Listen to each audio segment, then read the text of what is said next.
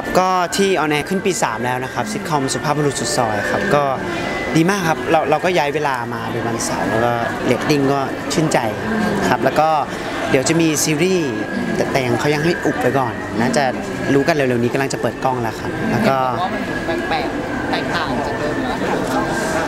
งานนี้ผมเอ่อรู้สึกโชคดีแล้วก็เป็นเกียรติมากที่ได้ทำงานนี้เดี๋ยวเดี๋ยวจะอัปเดตกันดีกว่า รู้สึกว่าจริงไหมอะก็ก็แตกต่างจากที่เคยเคยเล่นมาครับคนดูใช่ว้าวเลยป่ะคะว้าวนะผมว่าน่าติดตามเรื่องเนี้ยต้องทำการบ้านหนักไหมคะสำหรับเรื่องนี้ก็ก็ตอนนี้ก็เริ่มเตรียมตัวแล้วครับ อ่านบทอ่าน character คร่าวๆครับทำไมถึงตัดสินใจรับบทอันนี้อะคะเอ่อจริงจริงๆมันเป็นเอ่อเป็นผลงานที่เราติดตามมาอยู่แล้ว แล้วเขาก็ทำเป็นเวอร์ชันพิเศษอะไรเงี้ยครับอืมแต่แต่ยังบอกไม่ได้เลย บอกไม่ได้ผมไม่รู้เขา เดี๋ยวคนเดี๋ยวให้บอกก็คงบอกได้ครับ ครับแล้วเราดูเซอร์ไพรส์เนอะครับ มาค่ะแล้วก็ถามว่าแบบว่าช่วงนี้แบบว่ากระแสซีรีส์วายมันมาอะไรเงี้ย เรามีสนใจหรือว่าอยากลองอยากเล่นอะไรอย่างเงี้ยอ๋อเอ่อจริงๆ ปีก่อนเพิ่งเล่นไป เป็นเป็นเป็นเอ่อคู่กับพี่พิษใช่ครับ ในใน Club Friday ก็จริงๆเราเราต้องอ่านบทก่อนแหละครับ ถ้าเราอ่านบทแล้วเรารู้สึกว่าเอออันไหนมันน่าสนใจมันท้าทายก็ก็จะก็จะเล่นจริง ๆ แบบ พวกเพศพวกอะไรมันไม่เกี่ยว แสดงว่าเราไม่ติดเล่นได้ใช่ไหมได้หมดได้หมดครับเราชอบไหมตอนเวลาเล่นซีรีส์วายอะไรเงี้ย ชอบไหมเออจริงๆอย่างที่ผมบอกมันเริ่มจากบทก่อนนะครับว่าแบบเออตัวละครตัวนี้เส้นทาง background อย่างอื่นมันเป็นยังไง นอกจากเรื่องความรักเออ character อะไรอย่างเงี้ยมันก็มีส่วนในการตัดสินใจหลายๆอย่างครับแม้ว่าถ้าไม่ติดต่อมาเราก็แบบว่าสนใจรับได้อะไรอย่างเงี้ยใช่ไหมไม่ได้แบบเลือกไม่เล่น จริง ๆ เปิดกว้างผมเป็นคนเปิดกว้างมากเรื่องบทแต่ว่า แต่ว่าพออ่านแล้วก็ ถ้าเราชอบตัวละครไหนเราสนใจเขาก็จะแบบไปคุยเพิ่มเติมรายละเอียดเพิ่มเติมอะไรเงี้ยช่วงที่เล่นซีรีส์วายตอนนั้นมีคนติดภาพเราเป็นแบบอย่างนั้นช่วงฮอร์โมนใช่ไหมครับ ก็นานแล้วก็แรก ๆ แต่ว่าเอ่อใครที่ตามไปเจอผมก็ตัวในงานตามตัวจริงนี่เขาก็จะเก็ตอยู่แล้วว่าแบบเออมันก็เป็นการแสดงในในฮอร์โมนอะไรเงี้ยครับไม่ไม่ได้มาปะปนกับชีวิตจริงเท่าไหร่แต่ว่าเราก็ไม่ซีเรียสใช่ไหมคะถ้าแบบว่าไม่ซีเรียสไม่ซีเรียสนะครับ อะถามเรื่องลายเซ็นจะเปลี่ยนไหมอะเห็น อาจารย์ทักอาจารย์ว่าแบบว่าทักหัวว่าใจจะมันเอจะเอาอกับรักจะเอากับรักนะไม่อันนั้นมันลายเซ็นให้เอ่อแฟนๆแล้วก็ใช้คำว่าเป็นม้าชื่อเล่นอย่างเงี้ยครับเออ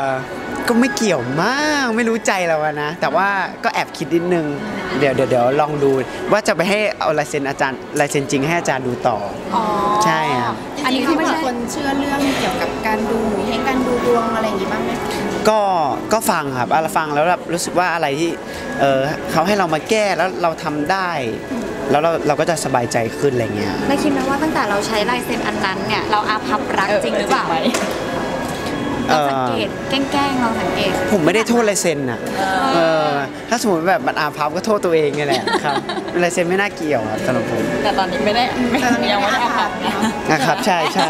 ใช่ยังไม่ต้องเปลี่ยนตอนนี้ความรักของเราถือว่าเป็นยังไงบ้างคะโอเคครับเรื่อยๆครับก็เอ่อปรับตัวไปเรื่อยๆครับเรียนรู้กันไปครับก็ก็ให้เวลามันมันพิสูจน์ครับตอนนี้ถือว่า โดยรวมโอเคนะครับเหมือนเหมือนเราแบบช่วงอายุเรามากขึ้น แล้วก็ความสัมพันธ์มันก็เปลี่ยนไปอีกรูปแบบหนึ่งอะไรเงี้ยมันก็เอ่อค่อยๆเรียนรู้ไปยังไม่กล้าพูดมากอืมอย่างที่ผ่านมาความรักของเรามันอาจจะมันทำให้มุมมองความรักของเรามันเปลี่ยนไปไหมค่อยๆครับแต่ละครั้งมันก็ทำให้เราโตขึ้นอะไรเงี้ยอะไรแบบอะไรที่มันผิดพลาด มันก็ผมก็เอามาเป็นบทเรียน ไม่อยากให้มันเกิดขึ้นอีกอะไรเงี้ย มาออกกำลังกายแล้วปีนี้จะมีขึ้นปกขึ้นอะไรให้แฟนๆได้เห็นกันไหมนั่นน่ะสิคือคราวก่อนที่ไปออกอีเวนต์มาใช่ไหมครับที่เราอแล้อวกแบบกำลังกายอะคือประเด็นคือเพื่อนน่ะทักมันเยอะมากเพราะไปลงข่าวปุ๊บเขาคิดว่าผมเป็นไรทำไม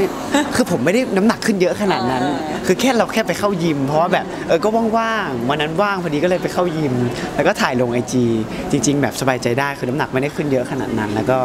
แค่แค่ดูแลรูปร่างให้มันปกติแค่นั้นนะครับจะสนใจไหมคะจะถ่ายเอ่อไม่ไม่รู้ครับรอรอโอกาสเข้ามา แต่จริงๆเราก็เคยถ่ายมาแล้วเคยถ่ายครับเคยถ่ายก็มีบ้าง แต่แต่ไม่ได้บ่อยครับแต่เราโตขึ้นแล้วเราเซ็กซี่ได้เกิน limit เดิมบ้างยังคะเออผมไม่ได้มองว่าตัวเองเซ็กซี่เลยเอาพูดก็เขินมากเลย ไม่ไม่ไม่ไม่ไม่ได้เป็นอย่างนั้นก็ก็คือมันเป็นอย่างอย่างมีก็มี men health อะไรอย่างเงี้ยมันก็เป็นสุขภาพเป็นอะไรอย่างเงี้ยครับคือไม่ได้ตั้งลิมิตตัวเองไว้ใช่ไหม อ๋อ เท่านั้นแหละครับ สุดแล้ว สุดแล้วเหรอใช่แค่นั้นเองใช่ เห็นว่าโตขึ้นแล้วนึกว่าจะมาแบบมากกว่านั้นมันต้องไปยังไงอะยังไงอะคือยังไงอะคือแบบภาพที่เราเห็นคืออะไรผ้าบางๆเลยอ๋ออะโอ้ยไม่ไม่ไม่ไม่ไม่ไหวแค่นั้นนะใช่โอเคก็คือถ้าแฟนๆจะได้เห็นไหมก็รอติดตามเนาะครับถ้าได้ถ้ามีก็คงได้เห็น ถ้าไม่มีก็ไม่ได้เห็นนะครับโอเคค่ะค่ะขอบคุณค่ะ